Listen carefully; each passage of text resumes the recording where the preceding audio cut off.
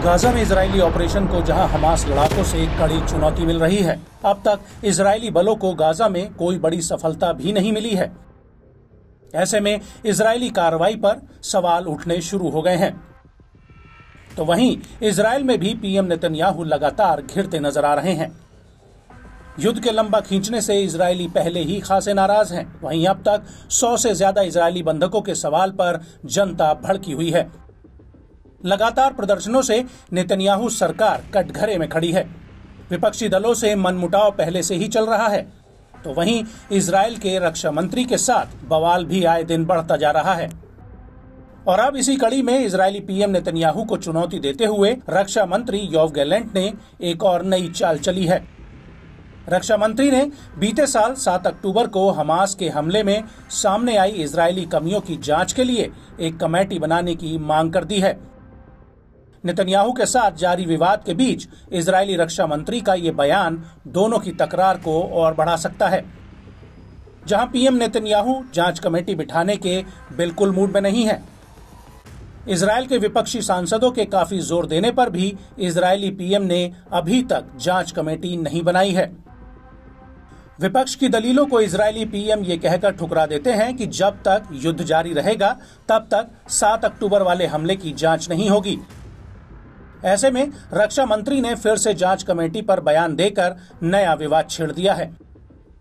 युद्ध में फंसे इजरायली पीएम के लिए अब लगातार मुश्किलें बढ़ती जा रही हैं। नेतन्याहू के हाथ से चीज़ें निकलती दिख रही हैं। उनकी कार्यशैली और नीतियों पर अब सीधे सवाल उठने शुरू हो गए हैं। जंगी मैदान से लगातार आ रही बुरी खबरों ने माहौल को और गर्मा दिया है। रक्षा मंत्री ने कहा कि जाँच के लिए अब और इंतज़ार नहीं करना चाहिए। समिति इस बात पर गौर करेगी कि आखिर उस दिन यानी 7 अक्टूबर को कहां चूक हुई थी אנו נדרשים לתחקיר ברמה הלאומית. תחקיר שיבהיר את העובדות, יאפשר את הסקת המסקנות ויביא להטמעת לקחים נכונים. ועדת החקירה צריכה להיות אובייקטיבית, היא צריכה לבדוק את כולנו, מקבלי ההחלטות ואנשי הביצוע, את הממשלה, את הצבא ואת גופי הביטחון. בממשלה הזו ובממשלות בעשור האחרון שהוביל לאירועי ה-7 באוקטובר. היא צריכה לבדוק אותי, שר הביטחון. היא צריכה לבדוק את ראש הממשלה. היא צריכה לבדוק את הרמטכ"ל ואת ראש השב"כ. היא צריכה לבדוק את צה"ל ואת הכפופים האחרים הכפופים לממשלה.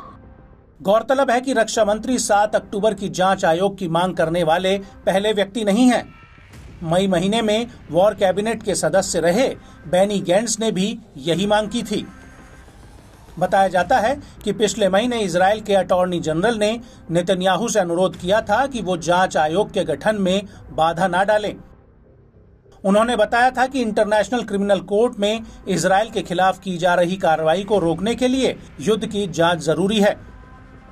इसराइल की जाँच कमेटी ही नरसंहार के आरोपों के खिलाफ सबसे अच्छा बचाव होगा। इसी बीच ये खबरें भी सामने आ रही हैं कि इजरायली पीएम आने वाले महीनों में रक्षा मंत्री योव गैलेंट को सरकार से बेदखल कर सकते हैं। दरअसल दोनों के बीच जारी मतभेद अब काफ़ी बढ़ गए हैं। इसका सीधा असर पार्टी पर पड़ता दिख रहा है।